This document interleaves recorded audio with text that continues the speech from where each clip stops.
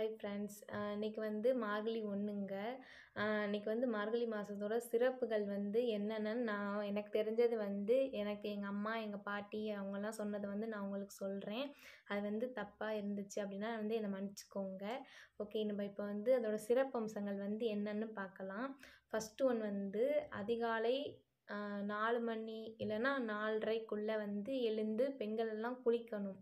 அதாவது பிரம்ம முகூர்த்தத்தில் வந்து வந்து பெண்கள்லாம் குளிக்கும் போது அவங்களுக்கு தேவையான வந்து உடம்புக்கு தேவையான ஆக்சிஜன் எல்லாம் வந்து நம்மளுக்கு ஒரு குட் வைப் வந்து கொடுக்கும். கொடுத்து நம்மளுக்கு வந்து அந்த நாளே சுறுசுறுப்பாக ஆக்டிவாக இருக்க வந்து ஹெல்ப் பண்ணும்.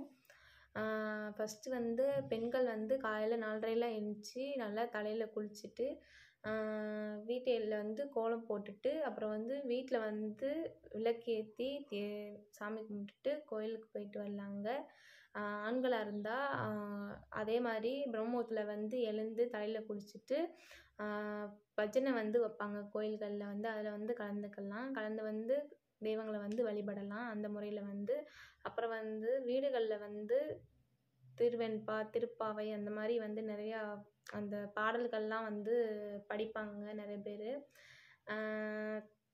ஐயர்மாருங்கள் அப்படின்லாம் சொல்லுவாங்கள்ல. ஐயர் அந்த வீட்டில் ஆற்றுல வந்து நிறைய படிப்பாங்க. அந்த மாதிரி நம்மளும் படிக்கலாம் வழிபடலாம்.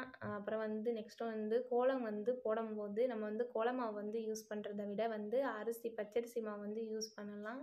ரொம்ப நல்லது. அப்புறம் வந்து கோலம் விட்டு போட்டுட்டு வந்து நடுவில் வந்து பறை அந்த மாட்டுச்சாணம் இருக்குல்ல அது பிடிச்சி அது பிடிச்சி வந்து அது மேலே வந்து பரங்கிப்பூ இல்லைன்னா வேறு ஏதாவது பூ வைப்பாங்க. நிறைய பேர் சாணம் இல்லாதவங்க வந்து மஞ்சள் எடுத்து பிள்ளையார் பிடிச்சி வச்சு அதில் வைப்பாங்க.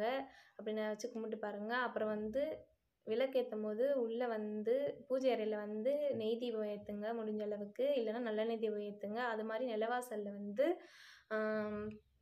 அது பார்த்திங்கன்னா அரசேலை வந்து வைத்து அதில் வந்து நெய் தீபம் இல்லைன்னா நல்லெண்ணெய் தீபம் இல்லைன்னா ரெண்டு எண் ரெண்டுமே இல்லை அப்படின்னா விளக்கெண்ணெய் வைத்துக்கொண்டு நம்ம தீப ஏற்றி வழிபடலாங்க. அப்புறம் வந்து பார்த்திங்கன்னா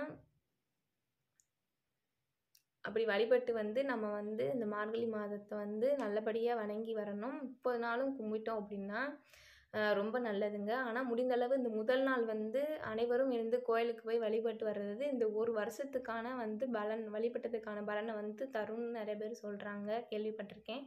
நீங்களும் கண்டிப்பாக வந்து முடிஞ்ச அளவுக்கு கோயிலுக்கு போய் வழிபட்டு இந்த மாதத்தோட சிறப்பு பலன்களை அடைய அனைவரையும் வேண்டி விரும்பி கேட்டுக்கொள்கிறேன். ஓகேவா?